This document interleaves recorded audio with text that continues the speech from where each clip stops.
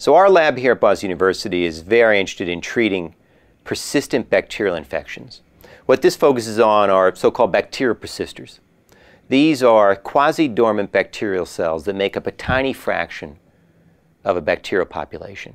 Why they're intriguing is that because they're quasi-dormant, they're highly tolerant, that is resistant, to antibiotic treatment and other environmental insults.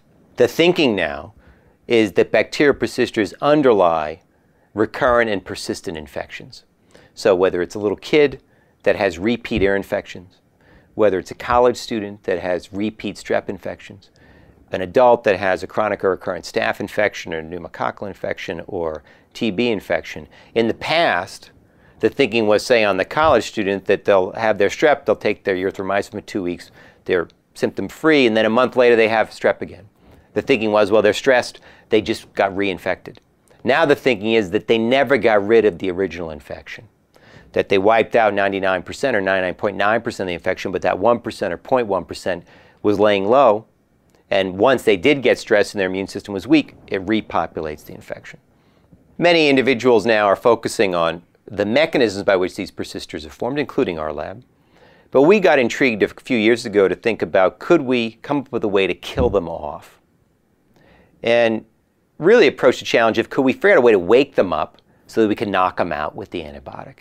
And with Kyle Allison and Mark Brynildsen, a grad student postdoc in my lab, I challenged them to take that approach. And what they did was apply a number of different sugars and metabolites to bacterial cultures. And what they found was fascinating. One was that during the time window of interest, the first four to eight hours, these different sugars and metabolites did not wake up the cells. Yes, if you look out 24 hours, 48 hours, you had some, a small number wake up. But during the window we wanted to test, they didn't wake them up. Two was that two different class of antibiotics that we looked at, quinolones and beta-lactams, were not enabled to kill off any of the bacteria as a result of the applied metabolites. But what we found that was stunning is that certain upper, upper glycolytic sugars, like mannitol, like fructose, like glucose, enabled aminoglycosides like gentamicin, kanamycin, tobramycin to eradicate the bacterial persisters. And so we sat back and says, wow, what's going on here? You know, the, the cells aren't waking up. And we used the systems biology analyses, both metabolic and gene regulatory, to try to analyze what was happening. And we did a series of phenotypic studies. And what we uncovered was that in the persisters, when they're untreated, even with the antibiotic, but untreated with the metabolites, they weren't taking up the aminoglycosides. So the aminoglycosides couldn't get inside the cell. But we showed that these certain metabolites actually now enabled the aminoglycosides to get in. And our mechanistic analyses uncovered that what the sugars were doing was basically triggering what's known as proton motive force, which is uh, uh, basically shift in the metabolic dynamics, respiration of the cell across the membrane that allows the cells, tricks the cells into taking up aminoglycosides. It's known that PMF or proton motive force is needed for the uptake of aminoglycosides. And these cells are not fully dormant, they're quasi-dormant. So there's enough activity that once the aminoglycoside gets in, boom, the aminoglycoside can kill each and every one of them. And so we're very excited about this possibility. We did this in gram-negative E. coli, like e. uh, gram-negative bacteria like E. coli, but we also did in gram-positive bacteria like staph. We went further and looked at biofilms. So bacterial biofilms are these communities of bacteria surrounded by an extracellular polysaccharide matrix attached to a surface bacteria and biofilms are highly tolerant. The thinking in the past was that the reason you can't kill them off is that they're protected by that outer layer. I think they're in part protected. But in fact, studies have shown that the antibiotic can penetrate through and get to the bugs down low. And so the question was, well, why couldn't they kill them off? And it turns out because they were in this persistent or quasi-dormant state.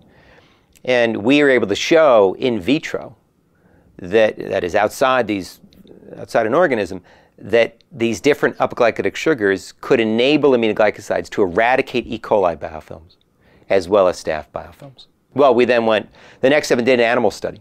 And what we did was look at a catheter-based biofilm model. So catheter, in this case, it would be in a mouse uh, up, up into the urinary tract.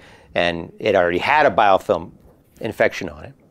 And it was an E. coli one. And we looked at delivering gentamicin alone and gentamicin along with mannitol. So mannitol was one of the sugars that we gave, it's used in sugarless gum. So it's not well metabolized by mammals. And what we found was that by including mannitol, we, we could substantially boost the killing efficacy of gentamicin against the biofilms. We could eradicate the biofilm infection in the mice. And most stunningly, further stunningly, reduce the spread of the infection to the bladder and the kidneys of the mouse. So we're very excited about how this might be useful now to go after chronic urinary tract infections, how this might be useful to go after ear infections, lung-based infections, staph infections. We have early data to indicate that it can be applied to Pseudomonas inside the lung. Now, we just did it in vitro, but it's often a lung-based infection that, for example, is highly problematic for cystic fibrosis patients. We showed that mannitol, as well as other sugars, could be used effectively with tobramycin, which is aminoglycoside used to treat Pseudomonas infections in CF patients. Well, it turns out there, and that's offered by Novartis, there's a company that's looking to aerosolize mannitol. So the idea would be, in tobramycin in aerosol fashion, that you could combine these two to treat the lung-based infections. We're now digging in to see could we come up with metabolic synthetics that could do the same. So not simply using sugar. Some of these sugars would be problematic because they are well metabolized by the body, so it's unlikely they'll get to the infection site. Mannitol is an exception. We're now trying to look and use similar approaches to see could we extend this to quinolones and beta-lactams. In part, aminoglycosides can be highly toxic. And in many cases, you'd want to treat with quinolones or beta-lactams. And we have early data to indicate that part in part, these drugs are not effective against the, the persisters because you can't, they can't actually be taken up by the persister. So we're now exploring insights into how those drugs could be taken up to improve the killing efficacy.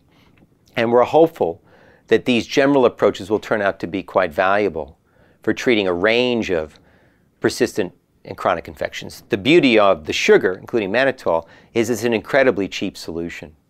And so one can envision going after TB infections, Pseudomonas staph infections in the developing world, where the antibiotics are available, somewhat cheap in some cases, but the treatments uh, have not been effective, and we're hopeful that this could reduce morbidity and mortality around the world in the face of chronic recurrent persistent infections. I think the, the major disadvantage of any such approach antibacterial will be what level of resistance can arise. In our case, it's the challenge we have is can we find appropriate metabolites or metabolite synthetics that can get effectively to the site of infection and yield their effect. When we published our work, which we published in Nature now two years ago, we actually had a number of parents expressing concern, are you telling me now I need to give my kid sugar to treat the infection? And we're not necessarily saying that. Uh, but one, you know, once you speak about adding sugar, there's always there's certain negative connotations from the public that we need to overcome. And I think in the case of mannitol, the beauty again is that's a non-metabolized, so you won't have many of the problems that you have with things like glucose. So looking further, I, I, think the field will develop pretty dramatically in the next five to 10 years as we learn more about the biology and the physiology of the persisters themselves. They've been incredibly hard to study because they make up a tiny fraction of a living population. And so to actually pull them out and study them using high throughput means to look at their gene expression that metabolize the protein has been incredibly challenging, essentially impossible. And so many uh, insights are waiting to be discovered. And I think as we learn more about their physiology, we'll be that much more effective at preventing their formation and or eradicating them once they're formed. So uh, almost all of the experiments on persisters are in vitro. And so another major challenge for the persister community, which is growing, is to develop effective in vivo animal models to enable you to study what happens inside an organism. And we, even in vitro, have been very limited in what we know about these. But as we expand that to become clinically relevant and more effective, we absolutely need to move these efforts inside animals. Uh, and there, there are big challenges. And uh, right now, few, if any, efforts to try to develop such animal models. There's concern, does work in a, in a mouse translate well to a human? And I think those concerns are very well validated for complicated diseases such as cancer. I think animal models for infectious disease of a bacterial fashion have been more effective, though there still is a big barrier. Uh, I think we really know very little about what antibiotics do inside an organism. Mice, rats will be an, an important step to expand upon. I think moving toward means to actually make measurements on human patients will be quite exciting in the next decade or two as we develop non-invasive imaging abilities to see what's happening inside that patient. Again, I think we know very little about what's happening at an infection site and what is happening as a result not only of the development of the infection, but in response to the antibiotic treatment. So our lab hasn't very quickly moved from in vitro to in vivo because much of our expertise is in the in vitro space.